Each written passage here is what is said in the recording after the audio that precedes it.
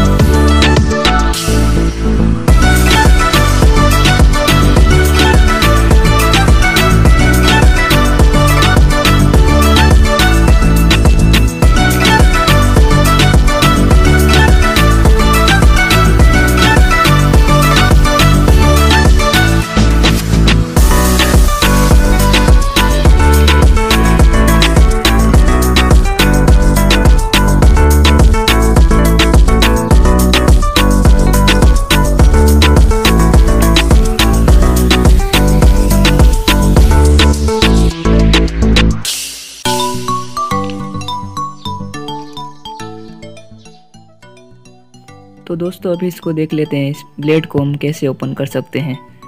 देखिए दोस्तों, पहले यहाँ से ब्लेड को ऊपर की तरफ़ पुश करना है। ये देखिए, ऊपर की साइड हल्का सा पुश करेंगे तो आप आराम से खुल जाएगा। ज़्यादा ज़ोर नहीं लगाना है। देखिए दोस्तों, आराम से खुल जाएगा, ये ब्लेड अपन, आप निकाल के इसको वॉश कर सकते हैं इजीली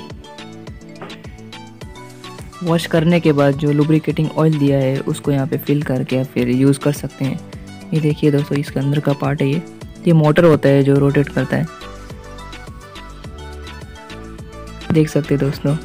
चलिए दोस्तों, अब देखते हैं इसको अटैचमेंट कैसे करते हैं। दोस्तों उसके पीछे यहाँ पे दो एंकर दिए होंगे, उसको हमको सेट करके बिठाना पड़ेगा। तो ऊपर से प्रेस कर देंगे। ये देखिए दोस्तों, इस, कुछ इस तरीके से। ये देखिए, इस तरह लगा के फिर ऊपर से हल्का सा प्रेस करेंगे, फिर ऑटोमेटिकली बैठ जाएगा। ये देखिए दोस्तों।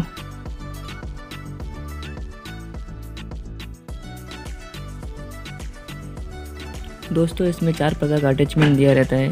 जैसे पहला देख सकते हैं थ्री एम का है। ये बालों का लेंथ है, कितने रखना है उसके ऊपर ब्लेड दिया रहता है। इसके बाद देखिए दोस्तों, ये सिक्स सिक्स एम का है। आपको बालों का लेंथ कितना रखना है, उसके हिसाब से ये अटैचमेंट को लगा के यूज़ कर सकते हैं। ये देखिए दोस्तों, ये नाइन एम का है।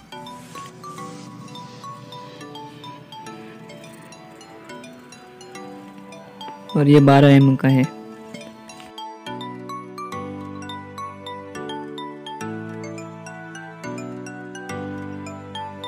दोस्तों उसके साथ एक क्लीनिंग ब्रश भी आता है। और ये देखिए, ये यूएसबी केबल है जिसे हम लगा के चार्जिंग कर सकते हैं। तो वीडियो आपको अच्छा लगे तो प्लीज़ लाइक कर दीजिए। दोस्तों के साथ ज़रूर शेयर कीजिए। Thank you